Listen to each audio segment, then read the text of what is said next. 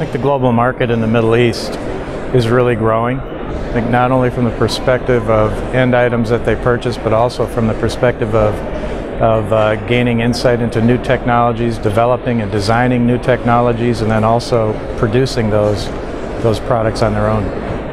In the past couple of years, we've been really successful in, in generating partnerships in the Middle East for the co-development and co-production of some of our legacy systems that are U.S. qualified systems that are now being produced here, that will be produced here in the Middle East. I think one of the most important things is, first of all, to, uh, to realize or recognize whether or not you have uh, legacy systems or, or ammunition systems that are relevant for what their current needs are or what their future needs are.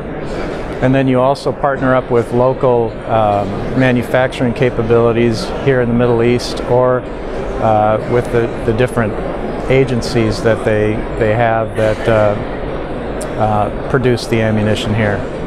We match our uh, ammunition capabilities to the type of platforms that they have, whether it be an Apache helicopter or uh, a medium caliber uh, armed vehicle. we match our ammunition to those, those types of requirements. One of the, one of the products that we have that's been a, a very dominant uh, product for us has been the lightweight 30 ammunition, which is the ammunition that's used in the Apache helicopter. And so uh, many of our allies here have Apache helicopters that they use. And so we're helping them establish that production capability here for their own use. But then also that ammunition is now being applied to land uses uh, with some of our own cannons that we're, we're bringing here and applying to land applications and maritime applications. And so they'll be able to apply that lightweight 30 ammunition uh, to those, those uses as well. I think that there will be a continued uh, demand for uh, indigenous production capability. I think that is going to increase. I think there will also be an increase in interest in designing and developing new types of ammunition, new types of systems. And I also think that there will be a focus, a, a very strong focus on precision as, uh, as we seek to minimize collateral damage uh, in, uh, in engagements. And I think because of the, uh, the complexity of what you see in battlefields today or, or engagements today, I think that there's a definite need to eliminate collateral damages, whether it be uh, by air or by land, uh, because many of those involve urban type engagements. And so if you look at what we can do from a precision standpoint, on the ammunition side with medium caliber, it's the air bursting, so you can put the round right where you want it so that it will detonate in a very precise location.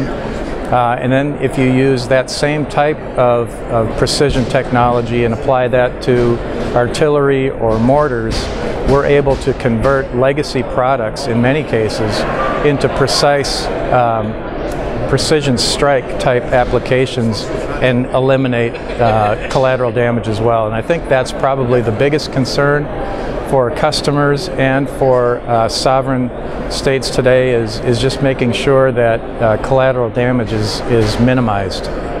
If you look at medium caliber ammunition, for instance, we have an air bursting uh, ammunition that is turns counting.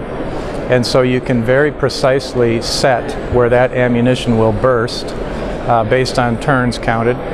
Then we also have um, our artillery uh, fusing capability that goes into a legacy 155 artillery or a 120 millimeter mortar and you can replace the, uh, the legacy fuse with a precision fuse that you can then set and allow it to go off in a very precise location.